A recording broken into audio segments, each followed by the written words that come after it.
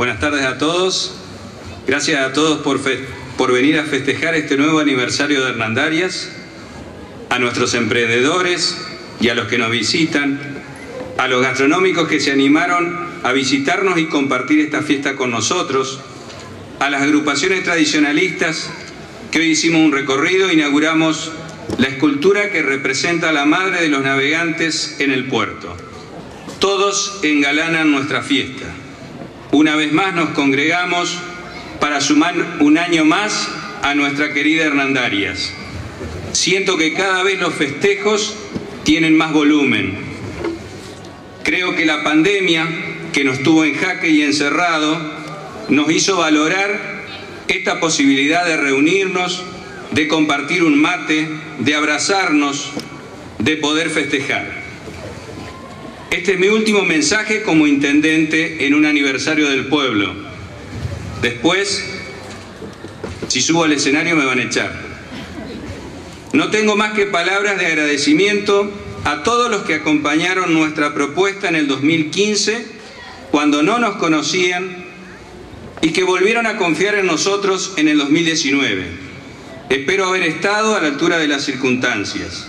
Siento que sí, que le pusimos el corazón a nuestra Hernandaria, que hicimos obras que quedan para siempre, que hicimos también muchas cosas que no se ven, pero que le transformaron la vida a la gente, en salud, en educación, en lo social, en escuchar, en dar una mano, estar en momentos difíciles. También es una tarea encarada por los distintos sectores de la municipalidad y tiene que ver con la gestión. Los que más resalto en obra es nuestra nueva terminal, la obra de Hábitat, la avenida Córdoba, la recuperación de espacios que eran nuestros y lo habíamos perdido. El predio de la fábrica es un ejemplo, la zona de Lo Machado otro, ocupada por amigos de Hernandarias que ya no están y que pudimos convencer a sus herederos que era bueno que el lugar lo podamos disfrutar todos. A ellos muchas gracias el predio del viejo hotel. Allí en breve verán una oficina de turismo, el museo, una batería de baños, un lugar parquizado con esculturas infantiles para las fotos y juegos, de manera de que los chicos y grandes puedan disfrutarlo. Acá me detengo. Otra vez la discusión de pocos, si se tiene que demoler o transformar en un hotel de un gremio importante o en una residencia para adultos mayores. ¿Qué hicimos? Demoler una parte y limpiar. Hacer los estudios correspondientes a la estructura de la losa de hormigón del techo que presenta graves daños. Al gremio importante le dimos todo porque siempre valoramos a la familia de los embarcados. Le cedimos un terreno donde está la sede de la obra social y del gremio. También la cooperativa de agua le cedió un terreno para que hagan vivienda. Trabajamos juntos para hacer la revisación médica y actualizar sus libretas estuvimos trabajando codo a codo con su representante. ¿Por qué? Porque valoramos que vivan en Onandarias. Una residencia para adultos mayores, por supuesto que es sumamente necesaria, para que muchos de nuestros amigos que no tienen la posibilidad de poder estar en sus casas estén cerca de su familia. Ahora, ¿no sería mejor que los jubilados ganen más?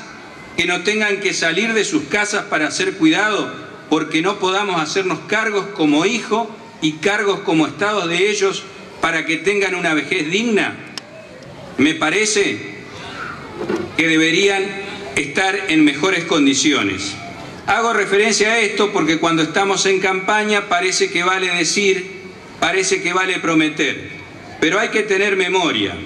Hubo gestiones que hizo un comedor de pescado para que tenga ingreso la cooperativa y hoy nos toca demolerlo porque se eligió mal el lugar y la forma de construcción no fue la correcta. Un millón de dólares salió el edificio y no sirve más. Hubo una gestión que hizo una pileta donde no debía y hoy está tapada, unos cuantos millones más. Hubo una gestión que vendió un predio sobre la barranca para hacer un puerto que hoy está abandonado. Yo como gestión soy responsable, espero la opinión de los que saben y les hago caso. Por eso amigos, hasta que no esté resuelto el tema de la barranca, no construyamos nada en el lugar. Esperemos los informes y tranquilo decidamos qué hacer. Tenemos un centro cívico, trabajo mancomunado del municipio con el Poder Judicial el IOSPER y el SOMU. No lo podíamos hacer nosotros como pensábamos. Usamos el sentido común e invitamos a quienes necesitaban un lugar definitivo. Ahí estará conectado el mástil de Bicentenario, a la plaza, a la zona del edificio municipal. Será una de las zonas más pintorescas de nuestro pueblo. El chafter está demorada, pero se va a hacer. Estamos cerrando el polideportivo con sus aberturas, sus paredes. Esto es una promesa cumplida para los amigos que realizan carrozas artesanales y que cada año deambulaban para conseguir un galpón. El lugar no será un problema este año. Podemos albergar ahí un número importante de carrozas que engalarán nuestro desfile y nuestra fiesta. Ahí también está el desafío. Nos tienen que ayudar los directivos de las instituciones a incentivar a los chicos que confeccionen carrozas. Es una de las fiestas del pueblo más importante. Este año tienen que ser más carrozas y así año tras año. Nos hicimos eco de un problema y nos hicimos cargo del nuevo hogar municipal Santa Cecilia. Por los niños que muchas familias de nuestro pueblo luchaban para que no se vayan y para que no se perdieran la fuente de trabajo. Nos presentamos en el COMNAF, propusimos un trabajo articulado y aquí están los resultados. También articulado con el Consejo General de Educación tuvimos la primera planta campamentil de Entre Ríos, un proyecto presentado por nuestro municipio para cambiar la realidad de la Escuela Santucho. Se transformó en lo que vemos hoy, grupos estudiantiles, jornadas educativas, cursos, reuniones de camaradería de nuestros adultos mayores. Un lugar muy cuidado. Gracias Juli y gracias amigo Lucena por su trabajo. Las obras se ven. Otra cosa que yo digo en política. A mí me gusta ver la realidad, no escribirla.